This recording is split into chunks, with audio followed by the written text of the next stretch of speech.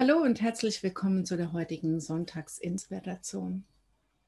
Ja, heute möchte ich noch einmal auf das ähm, weibliche Prinzip eingehen, warum das so wichtig ist, dass wir das wirklich in uns integrieren, ob Männlein oder Weiblein. Wir haben beide natürlich dieses weibliche sowie auch das männliche Prinzip in uns. Aber gesellschaftlich ist natürlich in erster Linie das männliche Prinzip äh, in den Vordergrund gerückt. Und das ist natürlich sehr fatal. Und da möchte ich heute noch mal ein bisschen tiefer eingehen. Natürlich auch, weil ich, ich schätze mal in drei Wochen ungefähr ähm, diesen Workshop ähm, anbieten werde. Aktivierte die Göttin in dir, also das weibliche Prinzip. Da bin ich gerade dabei, das vorzubereiten. Und es fühlt sich für mich noch nicht ganz rund an. Deswegen kann ich noch gar nicht genau sagen, wann es stattfinden wird. Auch das ist das typisch weibliche Prinzip. Es wartet darauf geduldig, bis es in Ordnung ist, bis es sich rund anfühlt. Ja, und zum Schluss werde ich dann auch noch eine kleine Meditation ähm, mit dir, mit euch machen. Also, wer möchte, bleibt gerne bis zum Schluss dabei und kann mit mir gemeinsam diese Meditation machen. Ja, warum ist das weibliche Prinzip so wichtig? Das weibliche Prinzip, das erkennt einfach die Zusammenhänge. Und ähm, ich muss da oft so an mich denken, weil ich die Zusammenhänge sehe, aber oft sie nicht in Worte fassen kann.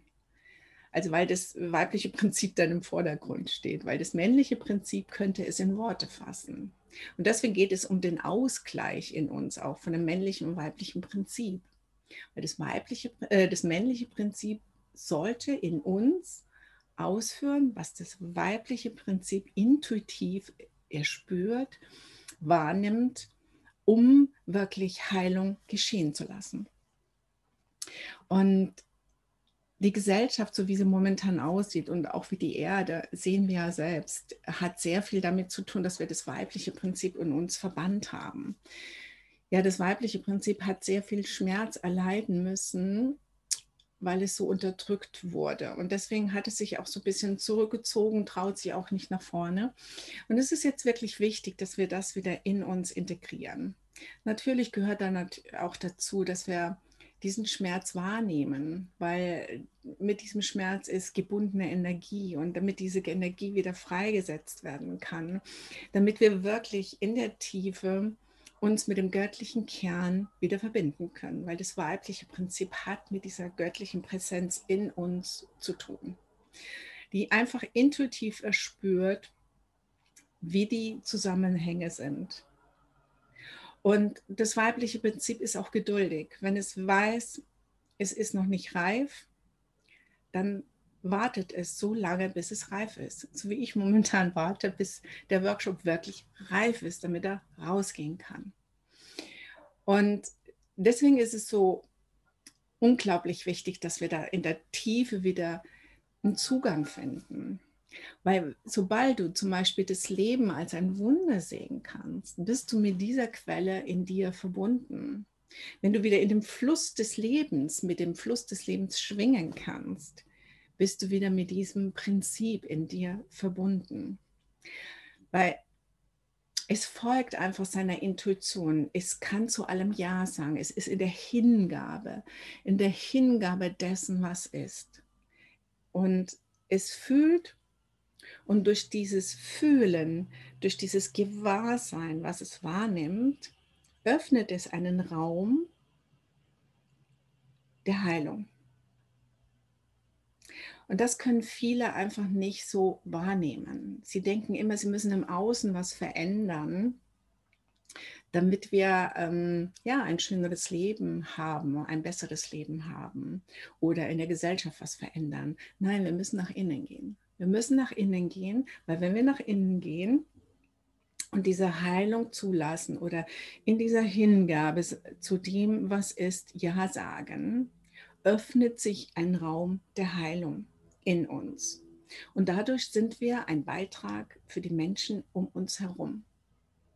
Das ist so wie das, die Mutter, die das Kind, das weinende Kind in den Schoß nimmt wo das Kind sich einfach ausweinen kann, entspannen kann. So musst du das vorstellen mit dem weiblichen Prinzip, indem wir einfach in die Stille gehen, in das Gewahrsein gehen, in die Hingabe gehen. Dadurch öffnet sich ein Raum in uns und Heilung kann geschehen. In uns sowie außerhalb von uns. Und das ist eine Erfahrungssache. Das kann man nicht mit dem Verstand verstehen. Verstand ist wieder männliches Prinzip. Das brauchen wir auch. Das männliche Prinzip brauchen wir. Aber es soll eigentlich das ausführen, was wir innerlich spüren, um es dann im Außen ähm, ja, ähm, zu manifestieren. Und das weibliche Prinzip hat sehr viel mit Kreativität zu tun. Und das, was momentan, ja nicht nur momentan, äh, viele, viele Jahre, wo wir reingeschlittert sind, ist einfach so dieses männliche Prinzip, das natürlich gefördert wurde, der Verstand wurde sehr gefördert. Und ähm, dadurch haben wir nicht mehr den Zugang zu diesem göttlichen Prinzip in uns. Und dadurch passieren auch fatale Dinge. Wir verlieren, also dadurch, dass wir den Zugang zu uns verlieren, verlieren wir auch den Zugang zu anderen Menschen. Diese Verbindung verlieren wir dadurch. Und wir entwickeln uns leider Gottes immer mehr zu diesen Maschinen. Also Transhumanismus ist ja heute ein Schlagwort, was viele gut finden, dass wir uns zu diesem Transhumanismus, zu diesen Robotern ähm, entwickeln, was ich persönlich als sehr fatal finde, weil wir dadurch den Zugang zu unserer Seele, zu dem, was wir, was der Menschen ausmacht, verlieren. Wir funktionieren dann nur noch. Und ich glaube nicht, dass das sinnvoll ist. Und ich glaube auch nicht, dass das für die Erde sinnvoll ist, für die Natur sinnvoll ist weil die Natur und die Erde leiden momentan auch sehr darunter, dass wir dieses weibliche Prinzip verbannt haben. Ich fand zum Beispiel die Woche auch interessant. Ich habe ja letztes Mal ähm, von diesem Töl erzählt und ich weiß nicht, ob die eine oder der andere sich ähm, das Video angeschaut hat. Ähm, ich äh, ich finde diesen Mann hochspannend. Und er hat ja davon gesprochen, dass uns so viele Worte genommen worden sind, ähm, die dadurch, dass, also dadurch, dass uns diese Worte fehlen, ähm, können wir unsere Kreativität nicht leben. Und ich fand dazu spannend, letzte Woche hatte ich mich mit äh, zwei Freunden getroffen, also vielmehr ein Freund und eine Freundin. Und da kamen wir auf dieses männlich-weibliche auch zu sprechen. Und ähm, sie sagte dann, ja, ich bin Vollweib. Und das löste in mir erstmal so eine Irritation aus. Weib war bei mir so ein bisschen abgespeichert, äh, ein bisschen negativ abgespeichert, so äh, herablassend irgendwie. Und dann haben wir darüber gesprochen, weil in der deutschen Sprache ist ja momentan eher üblich, dass wir Frau, Mann sagen. Und dann haben wir festgestellt, dass das ja eigentlich nur ein Titel ist. Es bezeichnet nicht das, wer oder was du bist.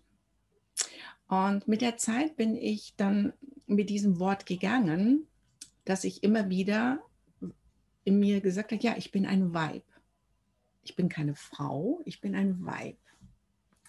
Und dann fand das Spannende in mir statt, weil ich spürte dann auf einmal, dieses Wort Vibe, welche Kraft das in mir ausgelöst hat. Während ich am Anfang eher so ein bisschen irritiert war, Vibe, hm, weiß ich nicht, ist nicht so positiv besetzt bei mir. Aber ich merke dann ja auch, ah, es äh, ist ja ein Glaubenssatz, hat ja nur was mit Glaube zu tun, wie was es. Gell? Und deswegen fand ich spannend, nachdem ich das so ein bisschen sacken lassen habe bei mir mit dem Vibe, ich bin ein Vibe. Ich bin nicht Frau. Frau ist so was Trennendes. Also so nehme ich das wahr. Das ist eigentlich, wie, wie ich eben schon gesagt habe, ein Titel. Und ich nehme, ich nehme es trennend wahr, während Weib was Sattes ist, was Starkes ist. Also für mich. Und, und ich lade dich einfach ein, vor allen Dingen dich als Frau natürlich, geh mal damit. Hm, schließ mal die Augen für dich und geh mit diesem Frau was das mit dir macht und geben wir diesem Wort Vibe, was das in dir auslöst. Ich fand das mega spannend. Und so kann ich mir wirklich vorstellen, dass uns viele Dinge genommen wurden an Worte, die uns getrennt haben von unserem göttlichen Kern, von diesem weiblichen Prinzip in uns. Und so wie ich das eben gesagt habe, ich das wahrgenommen, Frau war so für mich so was Trennendes. Es trennte sich von mir. Ich hatte keinen Bezug mehr zu mir, zu meinem Körper. Während was Weib war so was richtig Kraftvolles. Ja, dazu lade ich dich ein, das wirklich mal in der Tiefe wahrzunehmen. Ich werde hier unten auch noch ein Buch verlinken, was ich sehr schön finde, was auch sehr über dieses weibliche Prinzip spricht warum es so wichtig ist, dass wir diese Kraft, diese Energie wieder einladen in unser Leben, wenn wir wirklich diesen ja, Globus, wenn wir uns retten wollen, wenn wir wieder ein wunderschönes Leben führen wollen, wenn wir wieder Zugang zu unserer Lebensfreude haben wollen. Weil der Zugang zu der Lebensfreude, das kommt aus dem weiblichen Prinzip. So wie ich heute Morgen zum Beispiel, ich finde es so mega genial.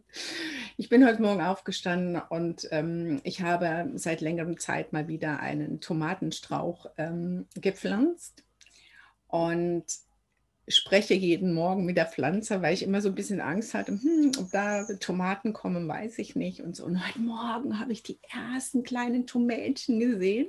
Sie sind zwar noch grün, aber ich war so begeistert. Ich war so in dieser Lebensfreude das könnt ihr euch gar nicht vorstellen. Das war wie ein Kind, das sich so unsagbar über ein Wunder freut. Und das war für mich heute Morgen auch ein Wunder. Das war für mich wirklich ein Wunder. Ich habe gedacht, Tomaten sind gewachsen, Tomaten sind da. Und ich habe ein Bild gemacht und habe sofort in meiner Telegram-Gruppe Frei sein, Eins sein gepostet. Also wer von euch noch Lust hat, da reinzugehen, kann gerne. Ich werde es auch unten drunter nochmal posten. Gerne in diese Gruppe kommen. Und weil ich da immer wieder auch so zusätzliche Informationen preisgebe, die sehr, sehr wichtig sind für uns, um wirklich ja, ganz zu werden in uns. Ja, das wäre es ähm, jetzt erstmal. Also es ist wirklich wichtig, dieses weibliche Prinzip in uns einzuladen, ob Männlein oder Weiblein. Und erstmal auch zu gucken, inwiefern habe ich dieses weibliche Prinzip in mir verankert. Ist es überhaupt da? Ist es so mega verschüttet in mir? Weil gerade hier in Deutschland, wir lieben sehr ausgeprägt dieses männliche Prinzip. Und ähm, dazu möchte ich dich dann jetzt einladen. Wir machen dann jetzt noch eine kleine Meditation dazu, dass du einfach in dir spüren kannst, inwieweit hast du dein weibliches Prinzip in dir schon verankert. Ja, dazu machen wir ein bisschen Musik. Erst muss ich mal den Ton teilen.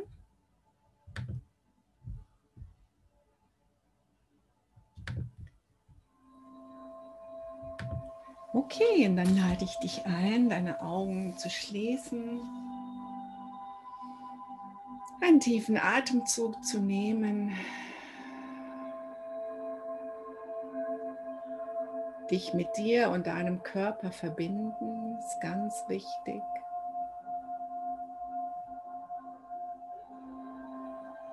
Auch das ist das weibliche Prinzip. Verbinde dich mit deinem Körper.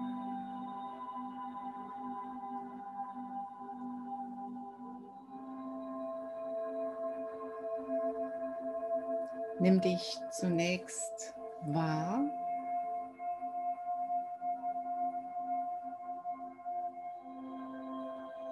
Mach so einen kleinen Check vom Körper bis zu deinen Fußsohlen, wie du dich fühlst jetzt in diesem Moment, ohne zu werten.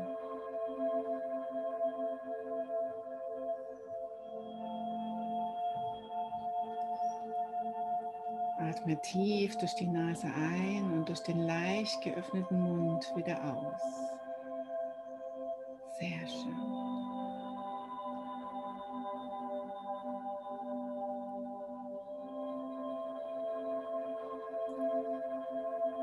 Sei ganz bei dir.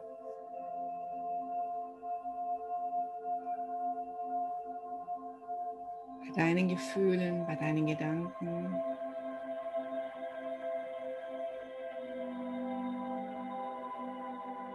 Vielleicht ist das Stille.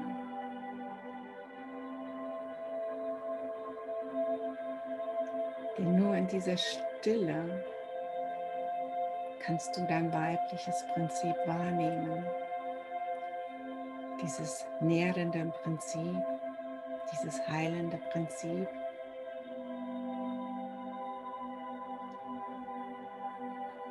Und sobald du diese Stille wahrnehmen kannst in dir, wird sich dieses Tor der Heilung in dir öffnen.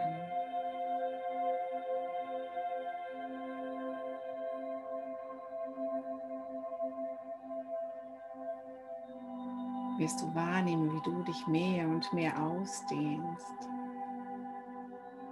in das, was ist.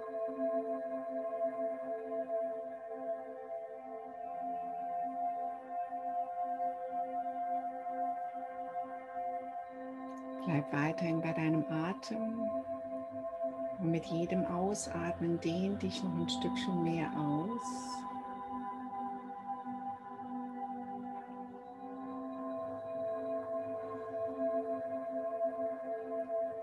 bis du zum reinen Bewusstsein wirst.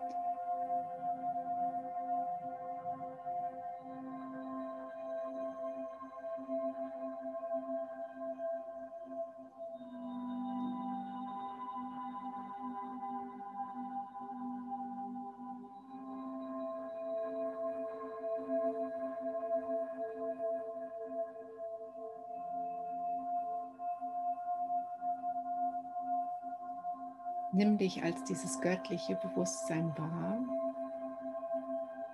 diese Lebensfreude, diese bedingungslose Liebe.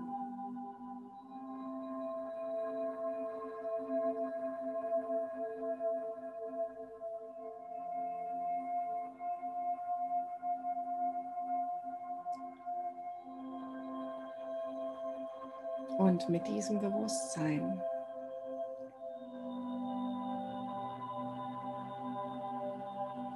Zurück in deinen Körper, atme tief in deinen Körper hinein. Atme zunächst ein und wenn du ausatmest, geh mit deinem Atem durch deinen ganzen Körper bis hinunter zu den Zehenspitzen.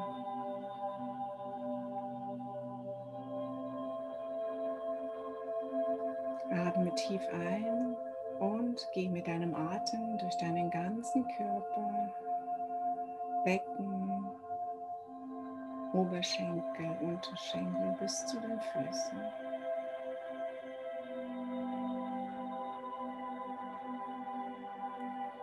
Und nimm wahr, ob du ganz frei atmen kannst oder ob es irgendwo Irritationen gibt.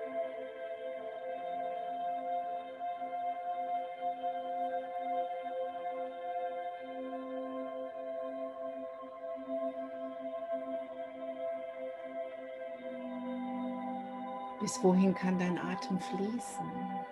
Kann er wirklich bis zu den Zehenspitzen fließen?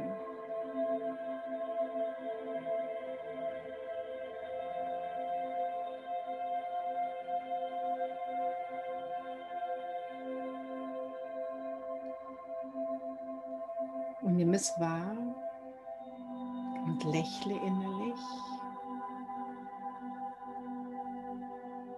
Sage zu dir selbst, auch das bin ich.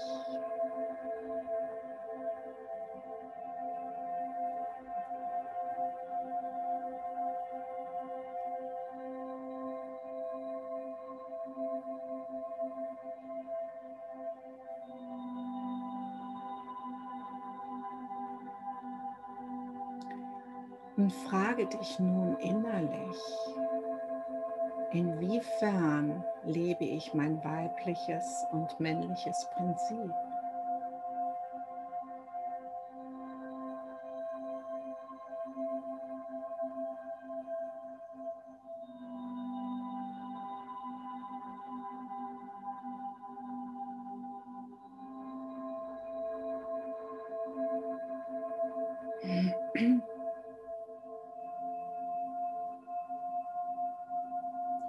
Und achte, was da an Gefühlen, an Gedanken in dir hochkommen und nimm sie wahr. Achtsam wahr, ohne zu werten.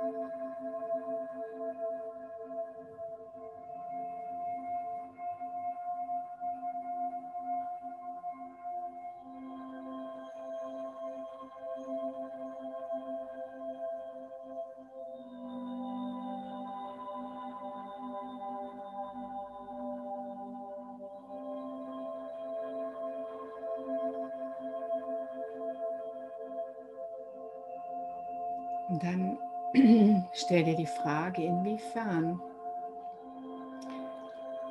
lebe ich meine Beziehungen mit meinem Partner, mit meinem Umfeld? Lebe ich da eher den aktiven männlichen Part? Oder übernehme ich da mehr den passiven weiblichen Part?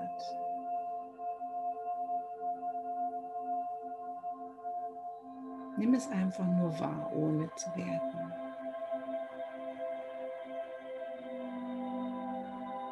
Oder ist es ausgeglichen? Übernimmst du einmal den passiven und einmal den aktiven Part?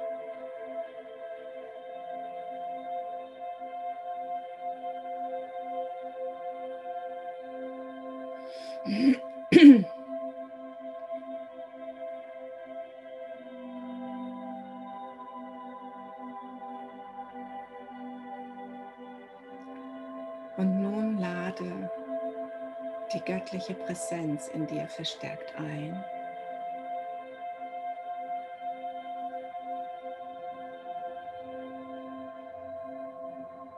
Und bitte um Heilung.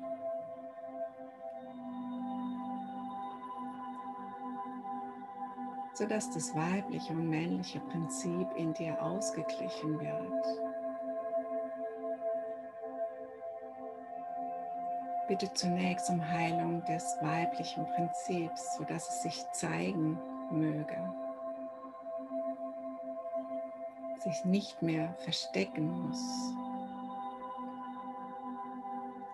sich freudvoll zeigen darf. In seiner ganzen Kraft.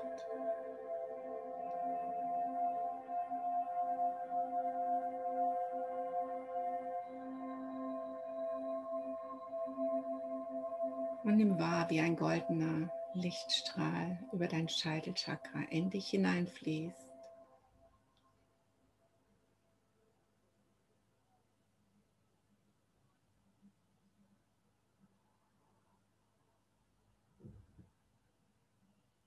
Und in dir diesen Anteil heilt.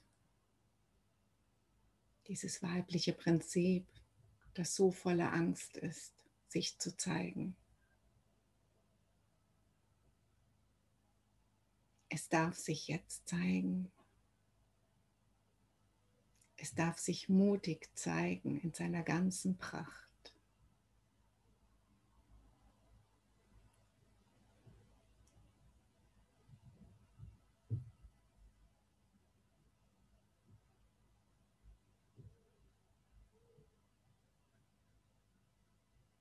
Nimm es wahr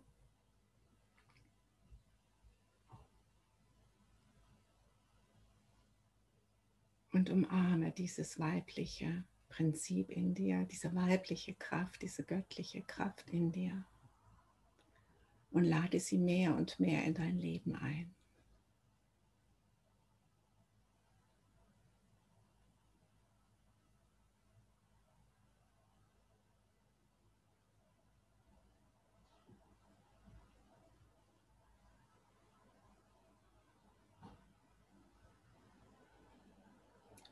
Und dann nimm noch mal einen tiefen, tiefen Atemzug, lächle und danke deiner göttlichen Präsenz in dir, dass du deiner weiblichen Intuition, deinem weiblichen Prinzip ein Stückchen näher gekommen bist.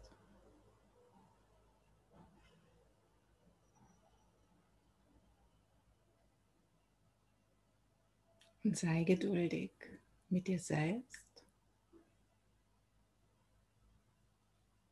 und lade dieses Prinzip mehr und mehr in dein Leben ein.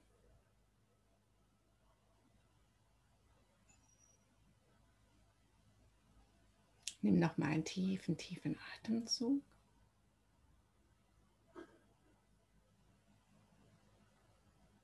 Und dann kannst du langsam wieder in deinem Tempo deine Augen öffnen.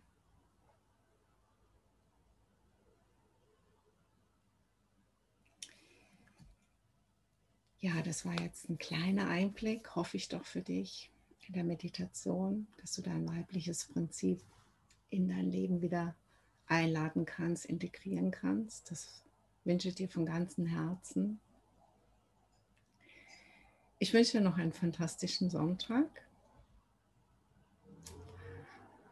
Alles Liebe dir, deine Cornelia. Ciao.